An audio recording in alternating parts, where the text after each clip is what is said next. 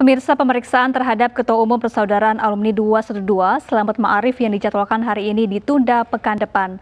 Nantinya pemeriksaan tetap dilakukan di Polda Jawa Tengah untuk alasan keamanan.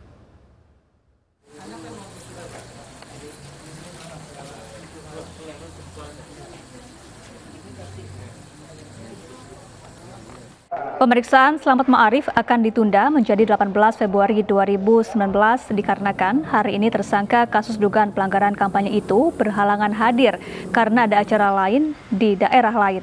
Selamat telah ditetapkan sebagai tersangka karena diduga berkampanye di luar jadwal oleh KPU oleh penyidik Polresta Surakarta. Namun setelah menjadi tersangka, pemeriksaan akan digelar di markas Polda Jawa Tengah untuk keamanan. Saat pemeriksaan pekan depan, Polda Jawa Tengah akan menurunkan 100 personel untuk mengantisipasi aksi unjuk rasa. Baik, jadi memang pada saat awal rencana akan diperiksa di Mapolresta Surakarta ya.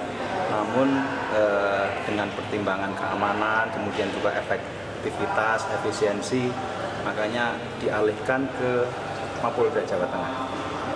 Kalau untuk pengamanan sendiri nantinya seperti apa di sini? Baik, eh, terkait dengan rencana pemeriksaan itu karena dilakukan di Mapolda Jawa Tengah, makanya Polda Jawa Tengah tetap menyiapkan pengamanannya ya.